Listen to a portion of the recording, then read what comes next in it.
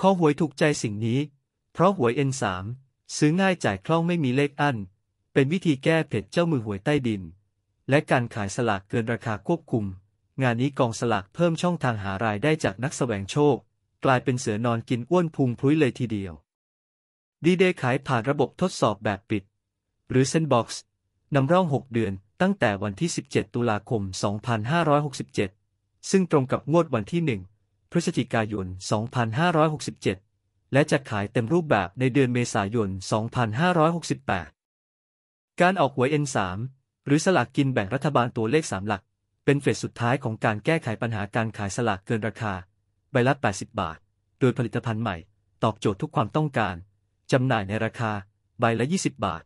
สามารถเลือกซื้อได้ทุกหมายเลข ตั้งแต่ 000 ถึง 999 เลือกเลขแต่ละหลักซ้ำกันได้ และไม่มีเลขอั้น ผู้ซื้อสามารถซื้อสลากในช่วงทดสอบจำหน่าย ได้ที่ร้านค้าโครงการสลาก 80 ทั่วประเทศ ที่เข้าร่วมโครงการกว่า 400 แห่งทั่วประเทศ สามารถสแกนตรวจสอบจุดจำหน่ายได้จากแอปพลิเคชันเป๋าตังค์สลากหนึ่งใบมีโอกาสถูกสีประเภทรางวัล ได้แก่ 3 ตรง 3 สลับหลัก 2 ตรง และรางวัลพิเศษ ซึ่งจะจ่ายเงินรางวัลผันแปรตามจำนวนผู้ซื้อ ในแต่ละหมายเลขที่ถูกรางวัลในงวดนั้นๆกำหนดออกรางวัลงวดวันที่ 1 และ 16 ของทุกเดือน ส่วนรางวัลอ้างอิงจากผลการออกรางวัลสลากกินแบ่งรัฐบาล 6 หลัก โดยรางวัล 3 ตรงและ 3 สลับหลัก จะมาจากเลข 3 ตัวท้ายของผลรางวัลที่ 1 รางวัล 2 ตรงมาจากผลรางวัลเลขท้าย 2 ตัว และรางวัลพิเศษ จะสุ่มจากผู้ถูกรางวัล 3 ตรงเท่านั้น การออกรางวัลพิเศษ จะออกภายหลังจากการออกรางวัลสลากกินแบ่งรัฐบาล 6 หลักเสร็จสิ้นในแต่ละงวด สัดส่วนเงินรางวัลทั้งหมดจะคิดเป็น 60%ของยอดขายในแต่ละงวด โดยรางวัล 3 ตัวตรง จะได้รับการจัดสรรเงินรางวัล 30%ของเงินรางวัลโดยรวม รางวัล 3 ตัวสลับหลัก จะได้รับการจัดสรรเงินรางวัล 30%ของเงินรางวัลโดยรวม รางวัล 2 ตัวตรง จะได้รับการจัดสรรเงินรางวัล 39%ของเงินรางวัลโดยรวม และรางวัลพิเศษมีสัดส่วนเงินรางวัล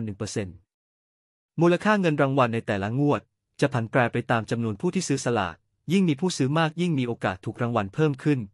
หากรางวัลประเภทใดไม่มีผู้ถูกรางวัลในงวดนั้น เงินรางวัลจะถูกสมทบไปยังงวดถัดไป หากงวดถัดไปไม่มีผู้ถูกรางวัลในรางวัลประเภทนั้นอีก ให้นำส่งเป็นรายได้แผ่นดิน ผู้ที่ถูกรางวัลจะได้รับการเตือนในแอปเป๋าตังค์และกดรับเงินรางวัลผ่านแอป โดยชำระค่าอากรสแตมในอัตรา 1 บาทต่อเงินรางวัล 200 บาท หรือเศษของ 200 บาท และการรับเงินโดยวิธีการโอนเงินรางวัลเข้าบัญชีธนาคารกรุงไทย ไม่ต้องเสียค่าธรรมเนียม นอกจากนี้ยังกำหนดหลักเกณฑ์ไม่ให้ผู้ที่มีอายุต่ำกว่า 20 ปีซื้อสลาก สำนักงานสลากคาดว่า การจำหน่ายหวย N3 จะดึงเงินนอกระบบจากหวยใต้ดิน ได้ประมาณปีละ 10,000 ถึง 20,000 ล้านบาท ปัจจุบันเงินในระบบหวยใต้ดิน มีมูลค่าราว 1 0 0 0 0 0ถึง3 0 0 0 0 ล้านบาทต่อปี หวย N3 อาจแก้ปัญหาการขายสลากเกินราคาได้ แต่ยังไม่แน่ว่าจะจูงใจ ให้คอหวยเลิกเล่นหวยใต้ดินหรือไม่ เพราะซื้อหวยใต้ดินไม่ต้องจ่ายเงินสด สามารถจ่ายงวดชนงวดได้ ราคาซื้อต่ำกว่า มูลค่าเงินรางวัลสูงกว่า เพราะเจ้ามือเป็นผู้กำหนด ต้องรอดูว่าหวย N3 จะตัดวงจรทุกเจ้ามือหวยใต้ดินให้แดดินได้สักกี่มากน้อย